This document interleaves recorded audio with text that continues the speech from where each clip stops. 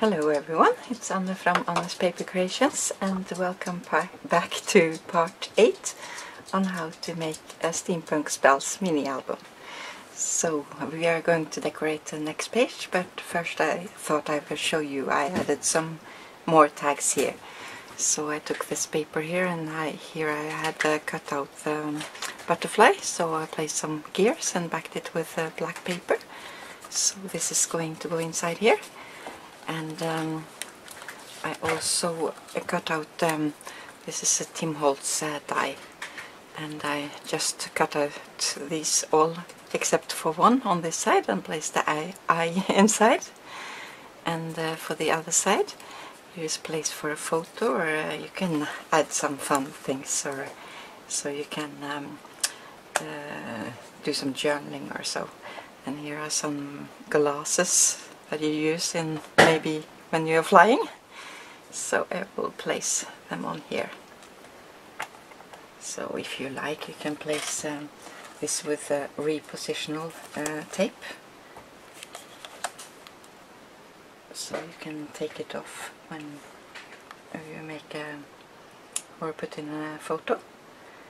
And here I have some gears and took on some pop dots. Place them inside for the ice.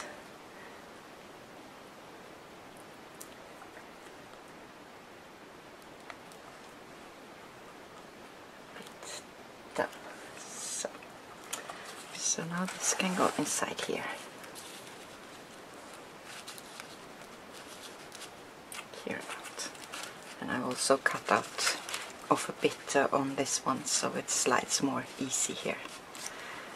So now for the next page. So on this uh, page we are going to make a shaker tag and this takes a bit to dry so we will start with that and um, here I have um, this is a packaging from a Tim Holtz clock but you can use any packaging you ha have if you like to make it so I just punched a hole with my punch and then I think it was one and three quarter and then I had to cut off a bit more.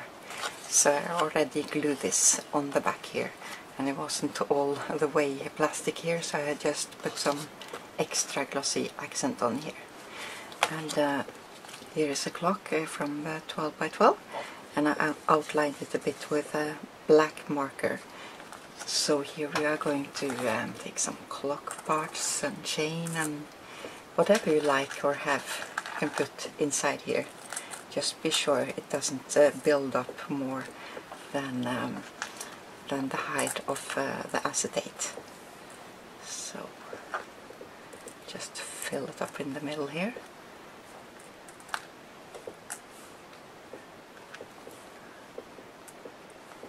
So so we just glue a bit on the outside here.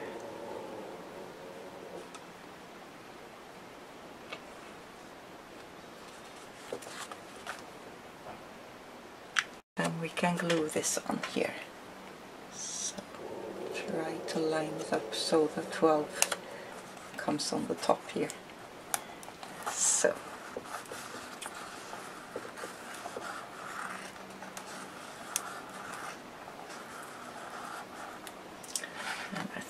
also have some chain around here.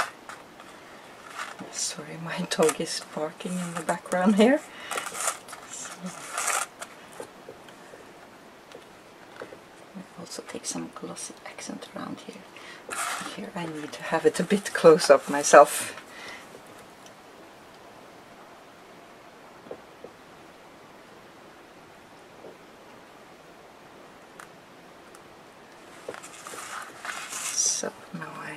some glossy accents around.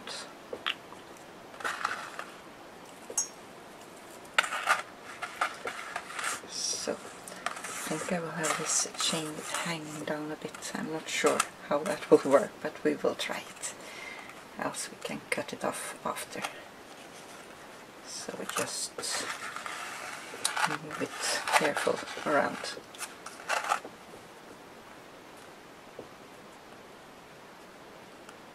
This is a ball chain from Tim Holtz, but you can use any chain or whatever you like. You can also outline this with a gear frame around here. So it would have been fun, maybe I try to add that later, we see. So now we can cut this off.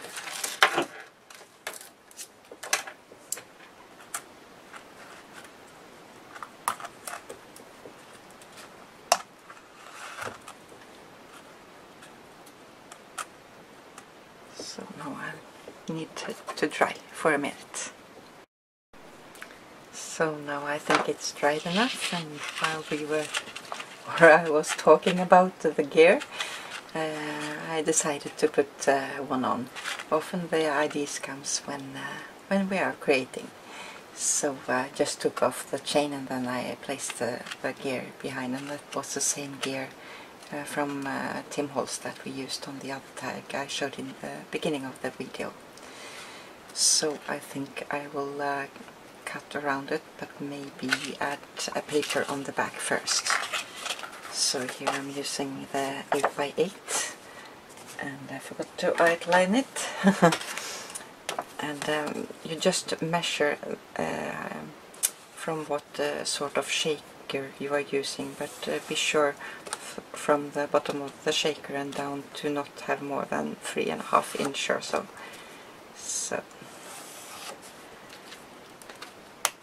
then we can glue this on.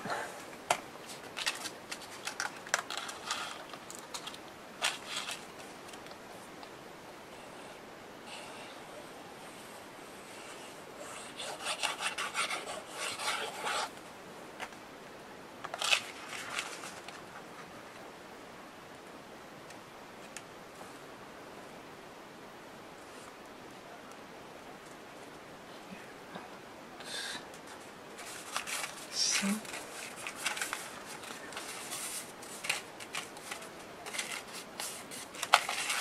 So now I will cut around um, this gear here. I think I will start here.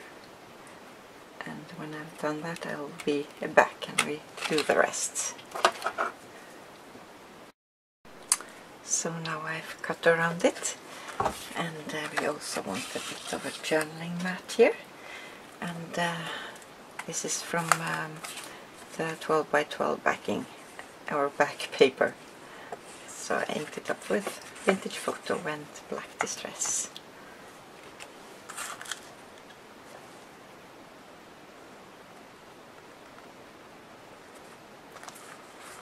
So I'm also going to have something on top here but I think I will take the back side here first. So and if you see here when you're gluing this down don't glue this down but just inside here. So then it's easy to cut around like so. So here we are want this over. And uh, maybe this. You can leave as a photo mat if you like to but I think I will have this inside here. So so we can glue it down and here we have to see because they are a bit different you see. So we have to move it a bit and see how where it fits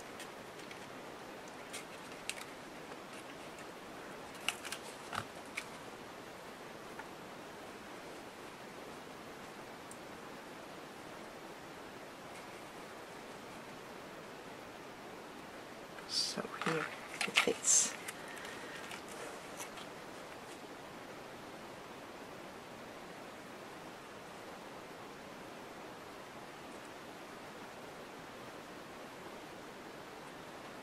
you also can leave open in one end and, uh, and uh, for uh, photos to slide in.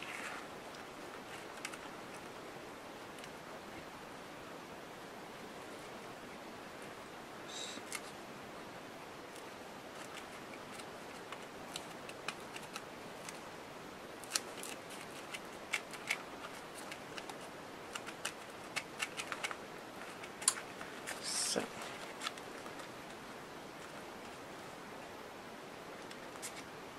think I will just this in the bottom if you want to take it off for a photo. So.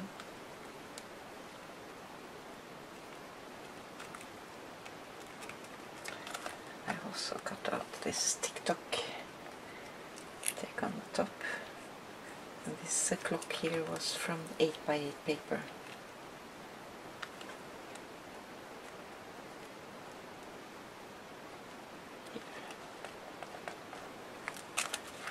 So now for the front here. I also cut off the top here from uh, clock and uh, also these the legs or gears that I want to have here. So just try a bit, but this I won't glue on now because I think maybe I will take some uh, stickles or crackle accent, but that you will see in the finished video. So I need to see how the rest of the page builds up.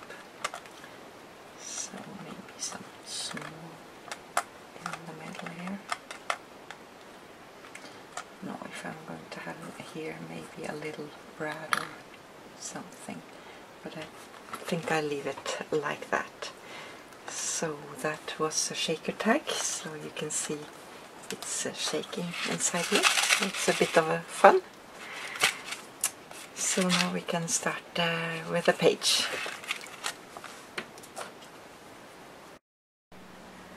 So we will start with the flaps and uh, we are going to make uh, some gears. And here I uh, made on one already and I have uh, crackle painted with uh, Distress crackle paint black. So for this you need a 4x4 piece of paper and uh, you can use this tool here, I'm not sure what it's called, to draw a line around or you can make it a round circle and then we start folding. So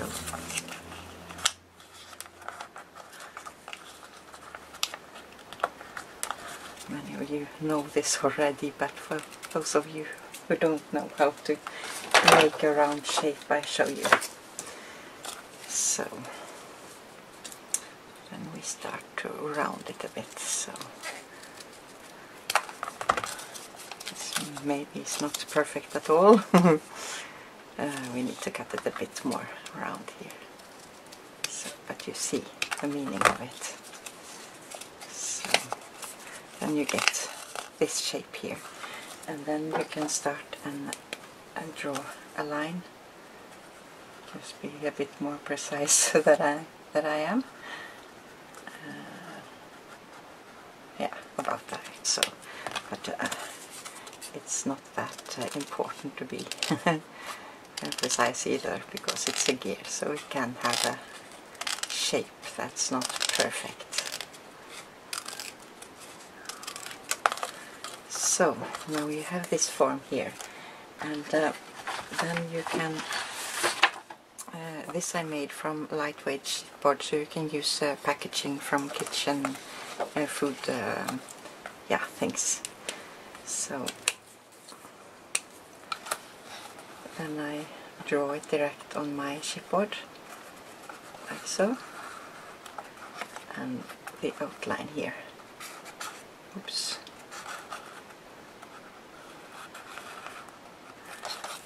and then I just um, took and draw like so.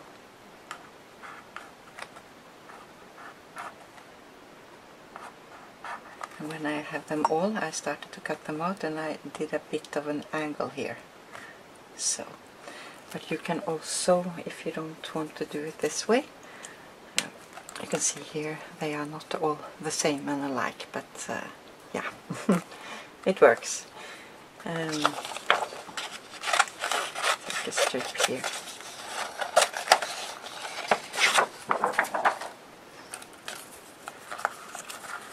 You can uh, just cut some strips of of chipboard, and uh, this technique I learned from Linda at Live Now. So uh, I will link to her um, channel below. She has a lot of fun videos if you haven't seen them. So then you just can start, pretend this is a chipboard, gluing these on like so.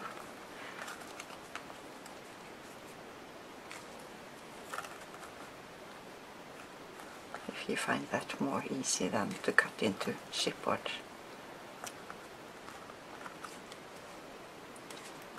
So, so these uh, these techniques you can use for all the um, gears and so uh, we are using in this album. Just make them small, smaller or bigger. So and you can take this out and make it a round shape. So that was that. And uh, this will be a bit too high, so I think we will need to cut it off a bit, but that we see when we put it together. So, and you also use uh, the same shape to cut out uh, this here. That's going to go behind here. So we will start with uh, gluing that on. So this should be 4 inch, since we cut out the same circle 4 inch. Sorry, that's my little dog again. we hear something. He needs to bark a lot. So, should have bent this out before I took the glue on. So we don't glue over the scoring line here. Take a bit more here.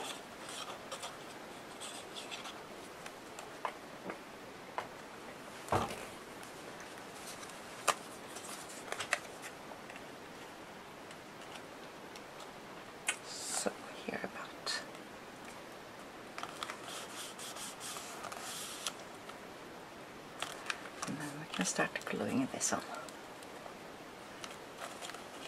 So I think we can use this glue here.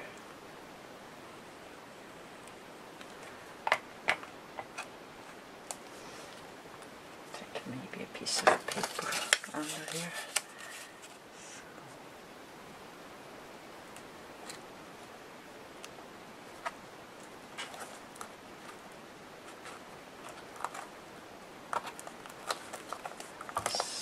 Maybe need some clips here.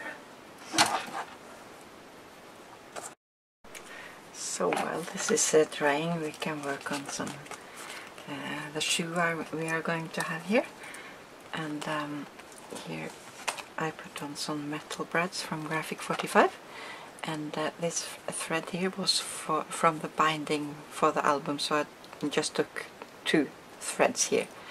So we're sewing them around here Oops.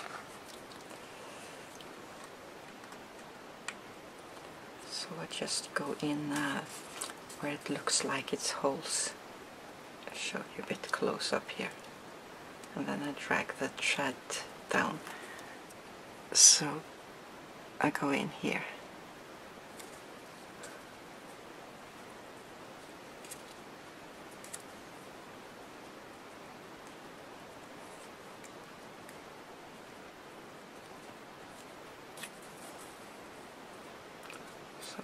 can work a bit with it and get it down like so. So we need to fasten that and we can use the score tape for that.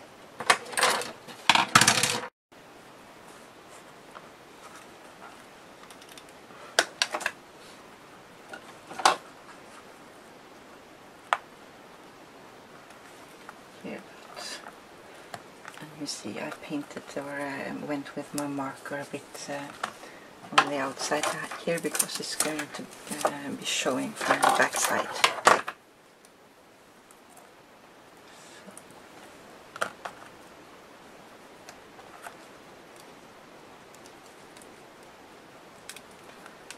also want some gears on the top here. So here I cut out from the 12 by 12 paper and added some gears from Tim Holtz and this I painted black. And here is a fastener and uh, yeah, no, I don't remember the name, but uh, it's also from Tim Holtz. And I also painted that one black, so we're going to screw that one on here. No, we are going to have this gear on first and this didn't fit so I took my screwdriver and made a bit larger hole here. So.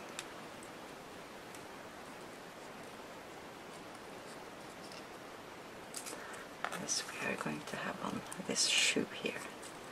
So stick it under a bit here I think about. Yeah. So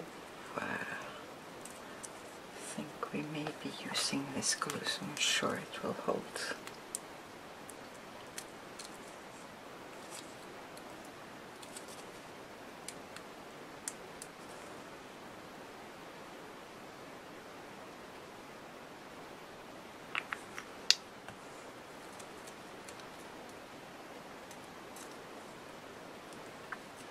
And I also want some feathers here. So I have some brown and some black feathers.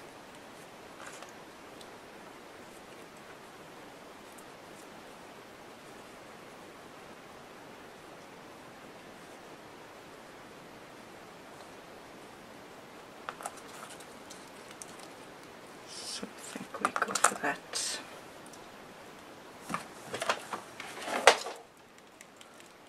Using my hot glue gun. A bit around here. Oops.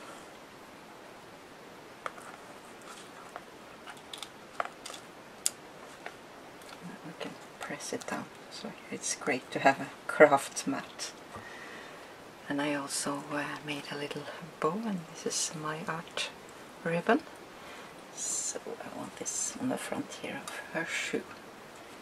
So take just a little bit of hot glue behind here.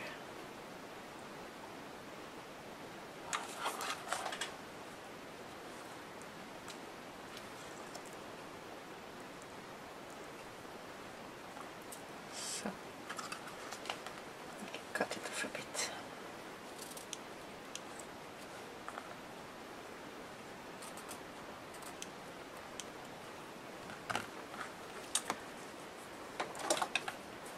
So see if we can move it.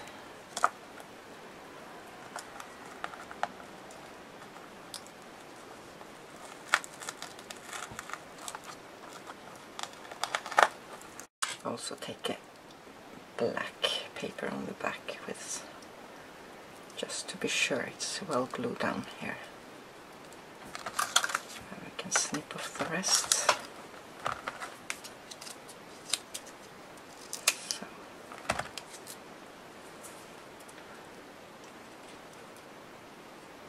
If you are new with a hot glue gun, please be careful. It's uh, you can burn yourself very much. We will try with this and see where to put it. Here about, I think. Yeah. So I think I will use my hot glue gun here as well. It on the back side here.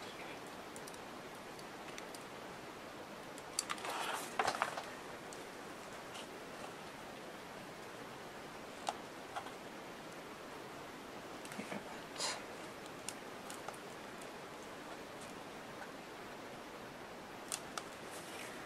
And uh, I also have this keyhole here from uh, Graphic uh, 45 and I painted it a bit black with uh, my paint, uh, black paint dabber. So I want this to go here. So then we need to poke some holes. Just position it. I think I will take the marker here. Just mark where I want the holes to go.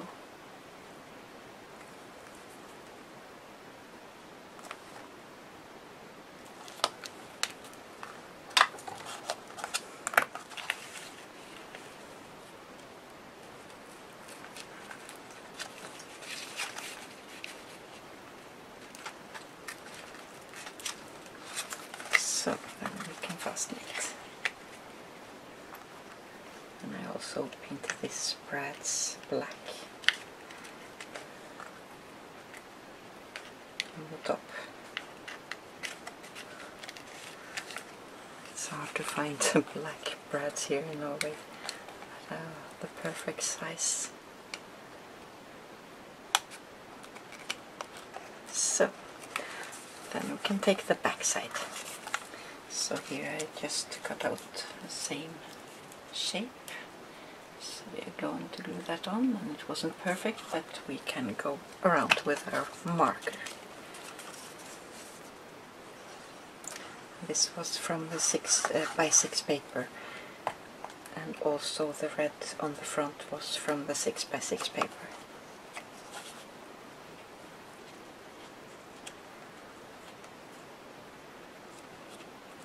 So, so while we're holding this we can take the marker a bit here.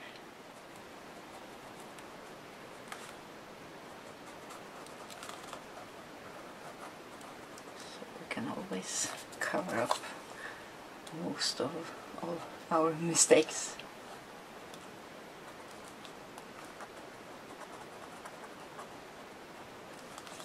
So, and we also want a little pocket here.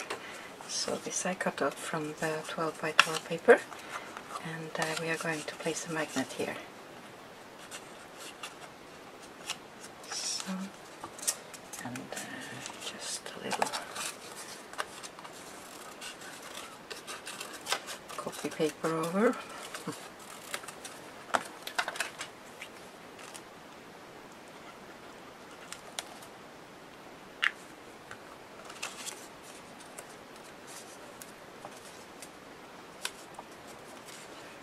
This you need to work a bit with. So just take your nails or something around here. So you're sure it's secured. You can also use a tape strip over here. So now we'll glue this down here. So I will just take a bit on the side here and on the bottom on the side here.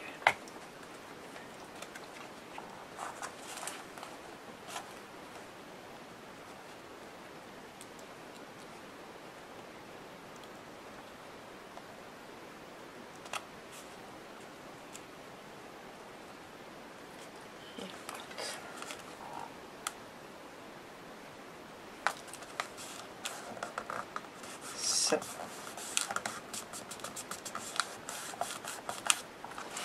then we can start with the page.